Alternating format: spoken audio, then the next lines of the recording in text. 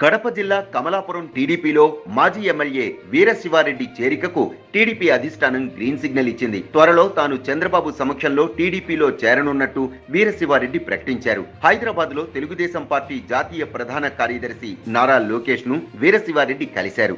ఈ సందర్భంగా పార్టీలో చేరాలని లోకేష్ ఆహ్వానించారు. ముఖ్యమంత్రి వైఎస్ జగన్ సొంత జిల్లా అలాగే ఆయన మేనమామ రవీంద్రనాథ్ రెడ్డి ప్రాతినిధ్యం వహిస్తున్న కమలాపురం నియోజకవర్గం నుంచి వీరశివారెడ్డి రెండుసార్లు ఎమ్మెల్యేగా ప్రాతినిధ్యం వహించారు.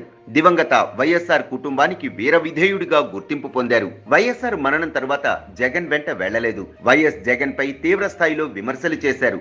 రెండు వేల పంతొమ్మిది ఎన్నికలకు ముందు ఆయన టీడీపీలో కొనసాగారు. సరిగ్గా ఎన్నికలకు ముందు రోజు రాత్రి వైసీపీకి మద్దతు పలికి ఆశ్చర్యం కలిగించారు. కొంతకాలం జగన్ను పొగుడుతూ కాలం గడిపారు. అయితే మారుతున్న రాజకీయ సమీకరణాల నేపథ్యంలో ఆయన టీడీపీలో చేరనుండటం ప్రాధాన్యతను సంతరించుకుంది.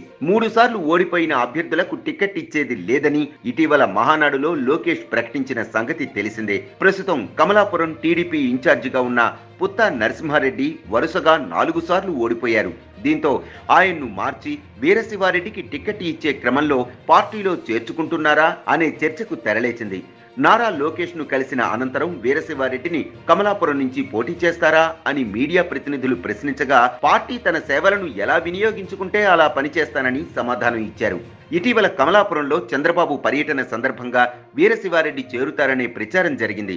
అయితే పుత్తా నరసింహారెడ్డి అడ్డుపడ్డంతో చేరిక రద్దయినట్టు ప్రచారం జరిగింది. ఈ నేపథ్యంలో లోకేష్ను వీరశివారెడ్డి కలవటాన్ని పుత్తా నరసింహారెడ్డి ఎలా తీసుకుంటారనే అంశంపై చర్చ జరుగుతోంది. ఇకపై వీరశివ పుత్తా మధ్య వైరం స్టార్ట్ అవుతుందనే ప్రచారం విస్తృతంగా సాగుతోంది.